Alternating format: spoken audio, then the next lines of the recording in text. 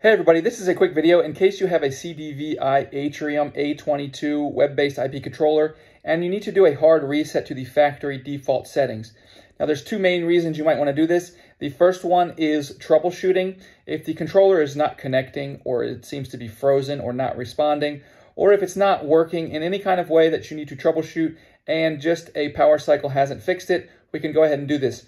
Now you will need to set it up again because it will be reset to its factory default out-of-box settings, um, which brings me to the second reason you might want to do this, and that is if you just want to reset everything to its out-of-box settings so that you can set it up again as a new device, this will do the trick. So what we need to do is we're going to come up here and we're going to find this, at the top of here, we're going to find this mode button, and there's a stat light here, uh, LED light just above it. So we're going to press and hold this until this stat light cycles through about 10 times of flashing and that'll take about 10 seconds. Then we're going to immediately let go of that button.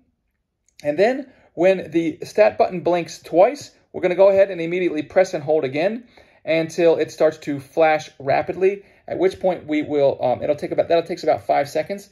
At that point, we can let go of the mode button again and let it cycle through its hard reset, which will take about 30 seconds, and then you can set it up as a new device.